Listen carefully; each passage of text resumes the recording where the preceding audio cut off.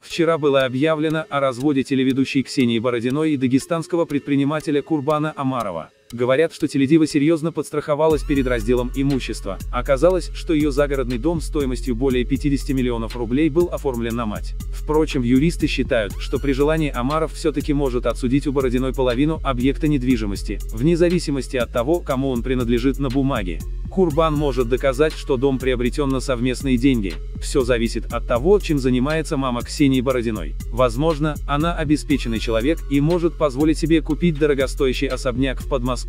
Но не исключено, что родительница – обычная пенсионерка, и для суда тогда все будет очевидно. В таком случае она не могла приобрести эту недвижимость на свою пенсию, придется искать накопленные сбережения, выяснять, откуда деньги, рассказал адвокат Михаил Алексеев. Серьезные проблемы у Ксении Бородиной могут возникнуть, если оплата была произведена с ее карты. Тогда становится очевидным, что деньги принадлежали ей, а не матери. В этом случае дом однозначно будет рассматриваться судом как совместно нажитое имущество. Если Ксения перечислила продавцу крупную сумму со своей карты, это шах и мат, тогда муж имеет все шансы отсудить половину дома или получить эту сумму денежной компенсацией, добавил Алексеев. Напомним, слухи о проблемах в отношениях звездной пары поползли еще несколько месяцев назад. Поговаривают, что Бородина в очередной раз поймала Амарова на супружеской измене, и не смогла с этим смириться.